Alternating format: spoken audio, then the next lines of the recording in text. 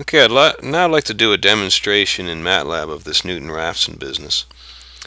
Let's take a look at a shop crane. This is in Appendix C of the appendices document that you have access to on the website. So for this shop crane, uh, there's an actuator R2 which you would lengthen, the actuator would rotate, and its angle theta 2 would change.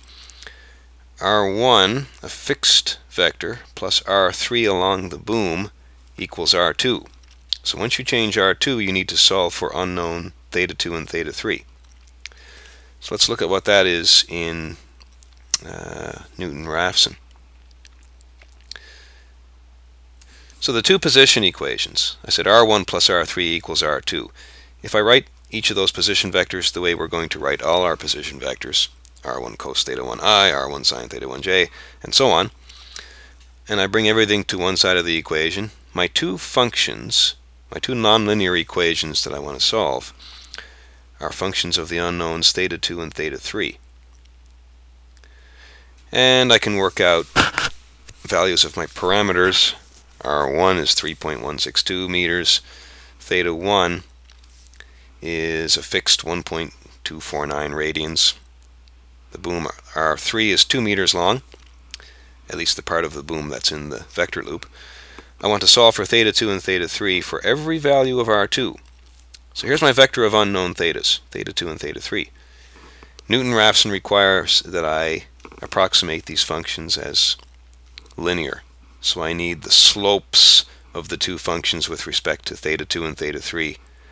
And I need to evaluate those slopes at some initial guess, theta 2 bar and theta 3 bar. So the, the matrix of slopes is the Jacobian. So I want to take the partial of the first function with respect to the first unknown theta 2. So the partial of this term with respect to theta 2, I'm going to get minus r2 times minus sine theta 2. So I get positive r2 sine theta 2 evaluated at theta 2 bar, which is my guess. Similarly, the partial of f1 with respect to the other unknown theta 3 is going to give me minus r3 sine theta 3 bar. And here is the uh, here are the two slopes for the other function, the partial of f2 with respect to theta 2 and theta 3. So there's my Jacobian matrix. I make an initial guess. Maybe I do a scale, rough scale drawing of the mechanism just to guess what the two initial angles might be. Let's say I want those as 120 and 200 degrees. I'll put them in radians, 2.09 and 3.49. And now the algorithm in the notes says that the corrections in delta, the corrections delta theta 2 and delta theta 3 that give me a solution to the linear approximations. That comes from the inverse of the Jacobian matrix multiplied by the negative of the residuals, which are simply the two functions evaluated at my guess. So I plug theta 2 bar and theta 3 bar in here. I'll get something non-zero, that's my residual. So I need to code this in MATLAB. Now the page after this uh, in the appendix works through some hand calculations to find those corrections for the first step. What do we do in MATLAB?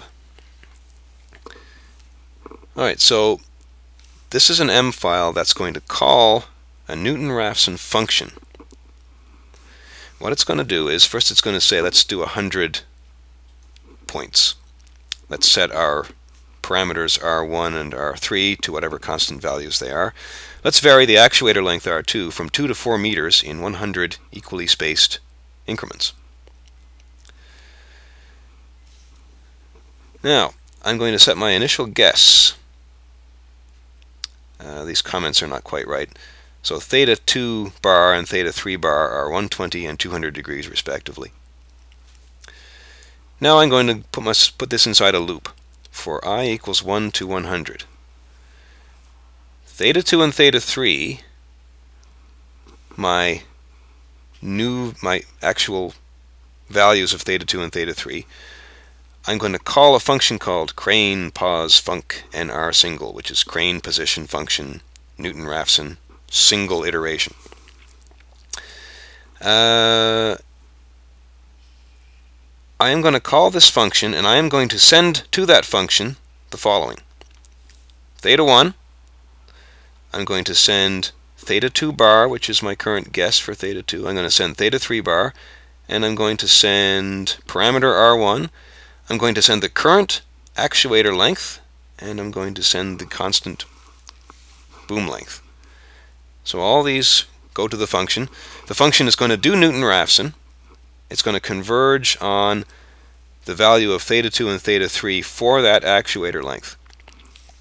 And then it's going to turn it into degrees, and it's going to write it to an array.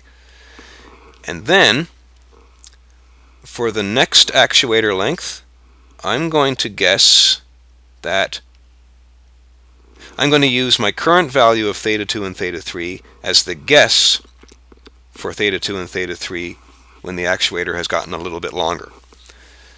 You know, this is a fairly smooth motion we're expecting here. So the next values of the angle should be fairly close to the current values of the angle because the actuator length is changing in a fairly moderate way. So then after I have theta 2 and theta 3 I plot them. Now what does this function look like? So I'll go to the function M file. Functions in MATLAB can be a little tricky until you get the hang of them. I start off by saying function, theta 2 and theta 3, those are the things I want to return to the other file, equals crane pos func nr single of the variables that I'm sending to this function. So this is the syntax. I need to have the function name and all those inputs the same as I did in the other M file. First thing I'm going to do, I'm going to set a criterion for convergence. I'm going to say that if my residuals, you know, if the actual values of the functions are within 0.000001 of the solution, then I'm going to stop. Um, this, these two lines of code here, they calculate the actual function values using theta 2 bar and theta 3 bar. If my guesses are right, then f will be 0 and 0. I'll get 0 for both functions. Now, while norm of f is greater than epsilon, that means norm of f means kind of like the vector magnitude of the two function residuals. So if the first function value was 1 and the second function value was 2, I'd get like root 3 for that norm. So as long as the magnitude of the residuals is greater than my small epsilon, I'm going to keep doing Newton-Raphson iterations. First thing I'm going to do is I'm going to calculate my Jacobian, which is a function of theta 2 bar and theta 3 bar. Delta theta is inverse of the Jacobian matrix multiplied by minus residuals. My I'm going to set my new step 2 guess equal to my step 1 guess plus the delta theta that I just calculated. I'm going to set my new value of theta 3 to my guess plus the correction that I got from that equation. Okay, so I started off with a guess theta 2 bar, theta 3 bar. I approximated the two functions as lines. I got an intersection point. I got a new value of theta 2 and theta 3. I'm going to use that as my guess for step 2. I'm going to check in on those functions. How are those residuals doing, guys? Oh, I'm going to find the norm of those residuals. And if it's still greater than epsilon, I'm going to go again. I'm going to find my new Jacobian. I'm going to find an, the next correction delta theta. I'm going to find the next value of theta 2 and theta 3. And maybe by now the norm of f is less than epsilon. In that case I'm going to stop. Then I'm going to send back to the other M file. I'm going to say, okay, at this actuator length, here's the value of theta 2 you need. It's my most recent guess, which when I plug it into the functions basically solves them. So I end the function with theta 2 equals and theta 3 equals. Because this function is supposed to take in stuff from the other M file, including the current actuator length, and it is supposed to give back theta 2 and theta 3. So that's why the function ends with theta 2 equals and theta 3 equals. So if you run those two M files, uh, the one you run is you run crane pos nr, and uh, if you type that into the command line, it'll call the function as often as it needs to, and it will plot theta 2 and theta 3 for that shop crane. So play around with that, and uh, good luck.